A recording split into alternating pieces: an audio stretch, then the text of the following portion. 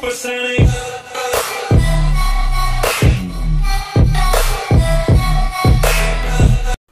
Здравствуйте, ребята! На канале Деда Мороза очередной бой в 2 на 2 против стратегистов. Играет Аннихилятор и Факью против King of Kings и Джокер.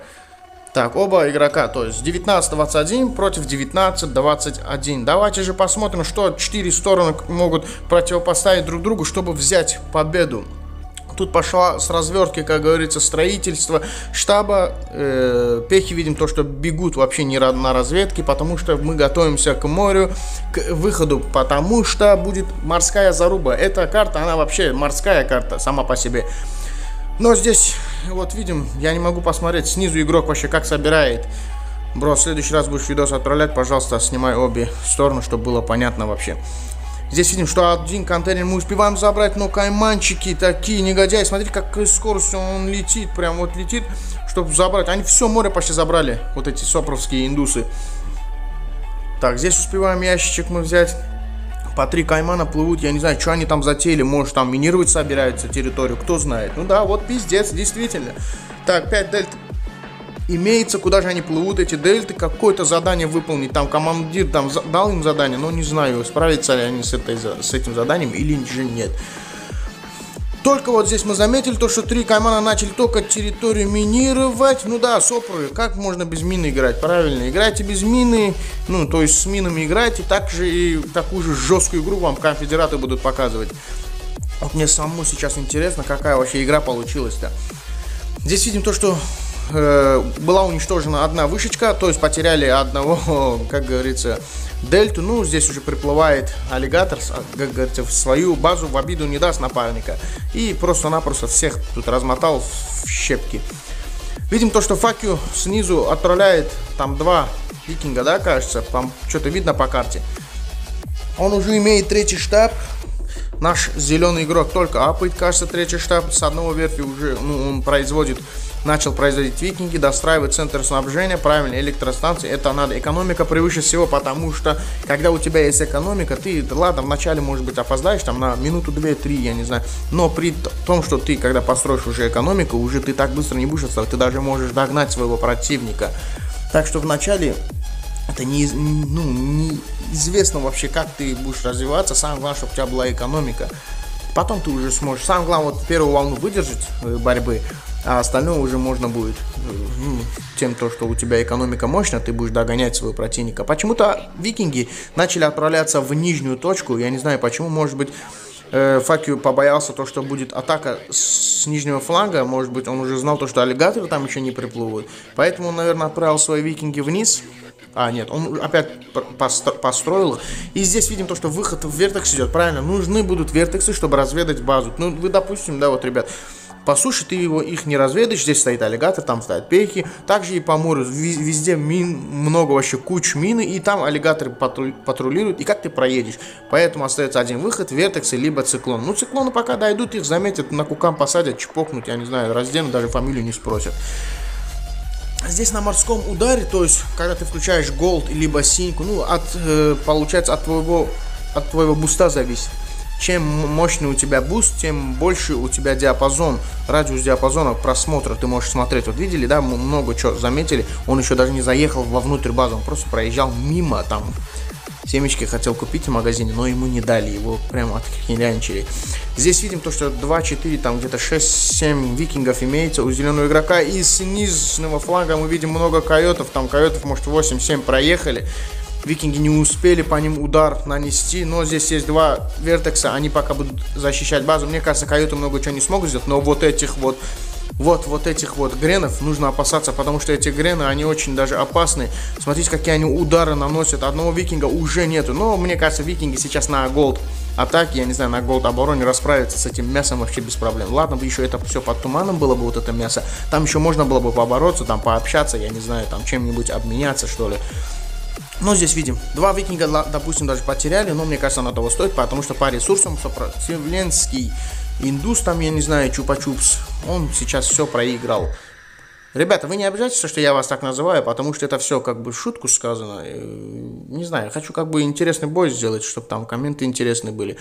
Ну, хотите тоже там видосы выпускайте, что там говорите на меня, я не знаю, я на это внимание обращаю, потому что я, я буду смотреть это с кайфом и буду тоже улыбаться.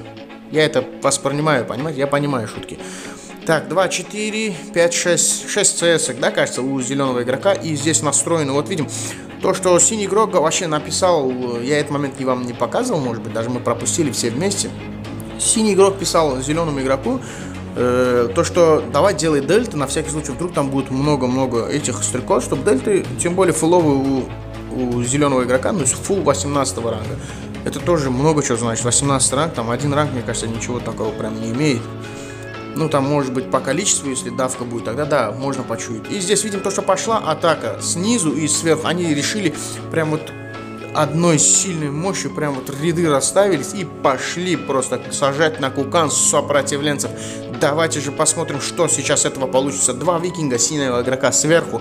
Они вот просто берут на себя урон, пока будет зеленый игрок, будет всех здесь ложить. Но здесь мы увидели э, торпедные установки сейчас будут помогать. А пока они не помогают, потому что все, сейчас алики работают на морском ударе, как я понял. Вот только первая торпедная платформа начала попадать, потому что включился буст. Общая оборона. И здесь имеется еще три даже их было 4, вот 3, вот этих э, 3 дельта, они помогли. Видите, да, сколько здесь стрекоз?